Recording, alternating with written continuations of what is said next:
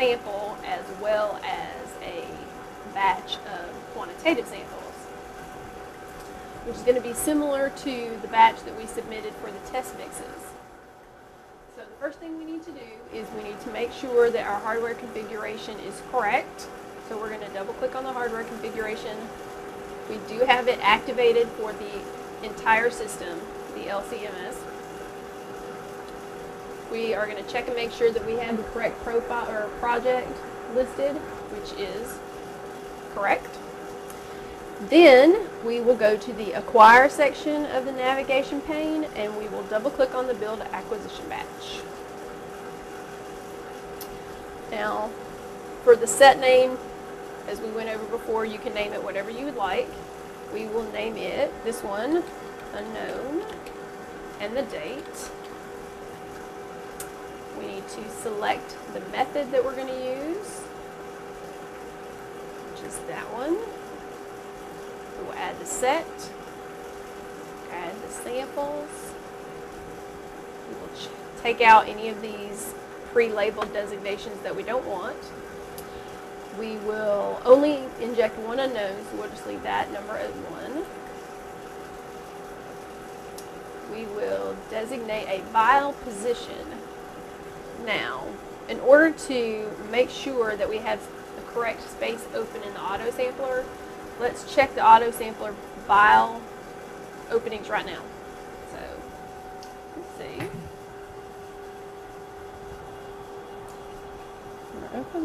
this.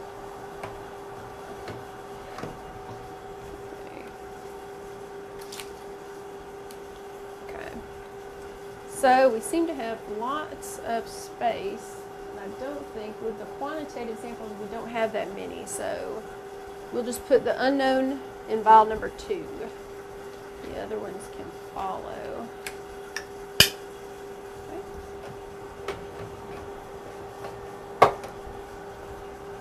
Okay. So let's go back here and we'll say vial position two. The injection volume is correct. Our comment, we're just going to label it an unknown. We will go to the submission tab.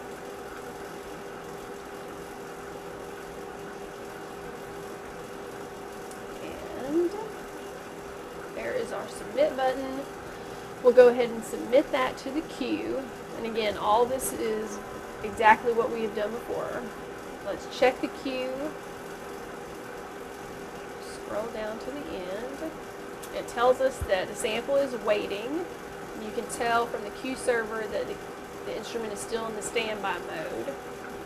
So again, we're going to deselect the button that reserves the instrument for tuning. We're going to equilibrate the instrument. Now, there are two equilibrate icons. One, you can designate time frame that you would like the instrument to spend equilibrating. Or you can tell it the instrument is ready right now to go ahead and get started, and that's what we're going to do. So we're going to tell it that it's ready. Then the submit, the start sample button shows up. We're going to click that. You can see in the queue server that it's waiting. It has to adjust itself and download method parameters and things like that before it actually injects. So during this time, we're going to close the queue. Let's get back our navigation pane. And we're going to go ahead and build another batch, which is going to be for our quantitative samples. So we will designate set name. We will select the appropriate method. In this case, it's called the GBI quant method. We're going to add the set. We're going to add the samples. And in this case, let me see how many samples we've got here. We've got 16 samples. Okay. 16.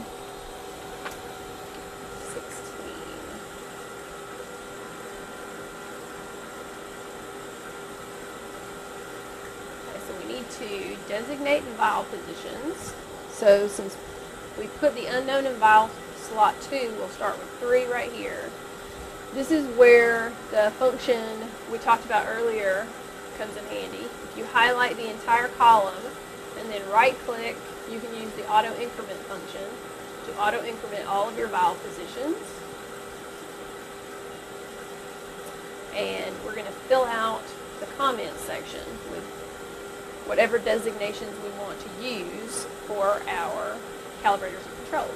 Now this set, we've got two sets of calibrators, what we've designated an A and a B set, and we have a negative control and two positive controls that go with the calibrators.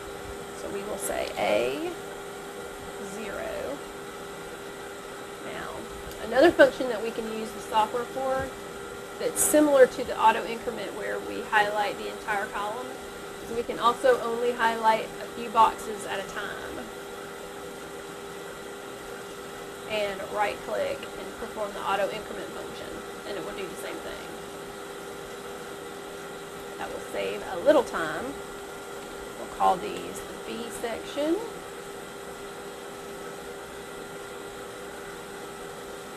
Right click and auto increment.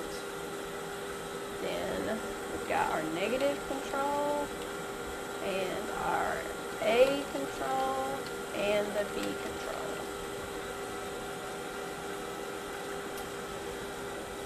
Now, since we have bothered to type all this information in, and it is 16 lines long, we can go ahead and save this batch. So in case something happens and we need to resubmit it, we don't have to retype it again. So we go to File and do Save As, and we will name it the quant today's date. Then we talked about earlier using the quantitation tab in the acquisition batch function to designate which samples were standards and which ones were knowns. So we will do that here. Now it's a drop-down menu and you can do the same function that we performed before about highlighting a list saying fill down. So it will automatically designate the first, how many do we have? Uh, 15? No, 13. And we'll, we'll go ahead and automatically designate those as standards. And we're going to leave our controls as unknowns. You could make them any other selection that you wanted to.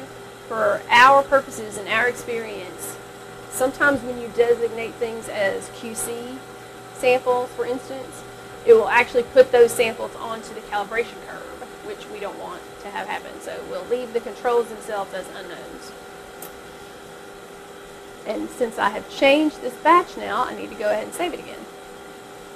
As, and I will select the batch that we just designated, save, It asks me if I want to replace it. Say yes.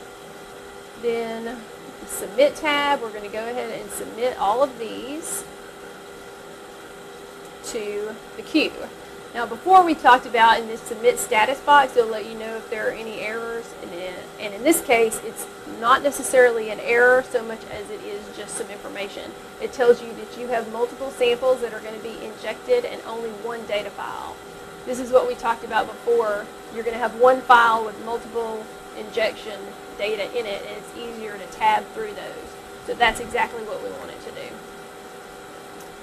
So we will go ahead and submit that batch, and you can tell from the status column that everything has been submitted.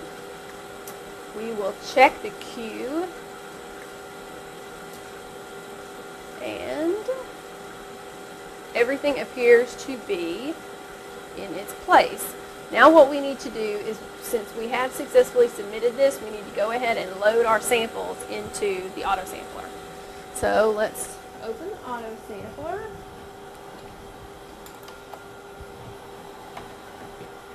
Pull that out. Alrighty. Did you hold that for I me? will. Okay. Oops. All right. see what we got here. Just move one of these over to be the unknown. We can put one of these controls. Okay. Put that control in there. And here is our list of quantitative samples.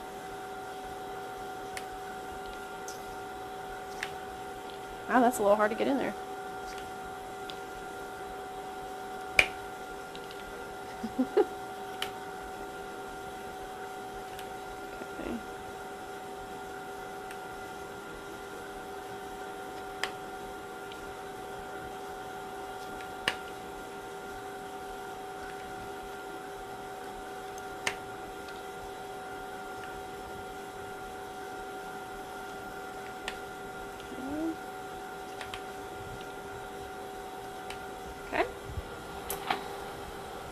Put our top back on here. Whoops, I'm holding this the wrong way.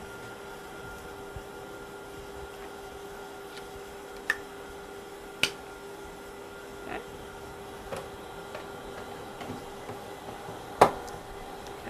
Okay. We are nice and loaded. We are just waiting for the instrument to start injecting.